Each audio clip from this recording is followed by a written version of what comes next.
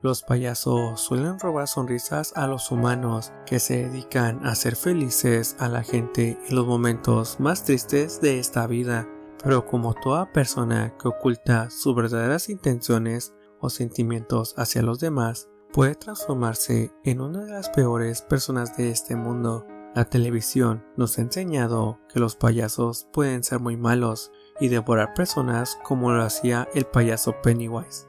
Pero si te dijera que esa película fue inspiración de una de las historias más desgarradoras de los Estados Unidos, John Wayne, mejor conocido como el payaso Pogo, era una persona muy agradable y social. Con el paso del tiempo fue mostrando cierta fascinación por la muerte y los jóvenes con delicada piel, pues su primer trabajo fue estar en una funeraria, que al encontrarlo acostado y acariciando a uno de los cadáveres, fue echado de ese lugar desde ahí su vida fue normal como todos los demás, pero no todo dura para siempre, pues a partir del año de 1972, a sus 30 años comenzó a tener una doble vida.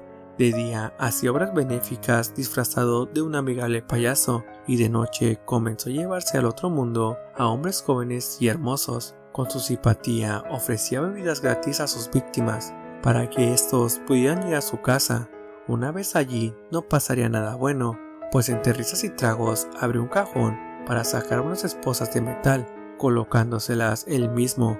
Luego hacía un truco de magia con el cual se lograba quitar esas esposas. Luego les decía a sus víctimas que si quieren aprender ese impresionante truco de magia, y tristemente estos decían que sí. El problema fue que este payaso no les enseñaba ningún tipo de truco, sino más bien los dejaba esposados para que ellos no pudieran salir de ahí, convirtiendo su sótano en un cementerio del cual nadie se daría cuenta. En 1978 mandó al otro mundo a un hombre que venía por una entrevista de trabajo, pero él había dicho a sus familiares que iría a la casa del amigable payaso, pero nunca regresó a su casa. Pogo había cometido un error, diciendo que el chico nunca llegó a la entrevista, pero los familiares no le creyeron nada llamando a la policía. A partir de ese momento, la policía comenzó a vigilar al amigable payaso. Pogo comenzó a usar sus encantos con la policía, invitándolos a almorzar, para lograr que ellos dejaran de sospechar de este payaso. Pero una vez adentro, los policías comenzaron a notar un olor raro. Con los años, Pogo había sido capaz de acostumbrarse a ese olor, pero los policías inmediatamente supieron que algo estaba muy mal. Al revisar su casa se dieron cuenta que había un cementerio en su sótano, declarando que había cometido 33 crímenes de chicos jóvenes que creyeron en la bondad de una persona vestida de payaso. La policía lo encerró dándole varias condenas perpetuas y la pena de muerte.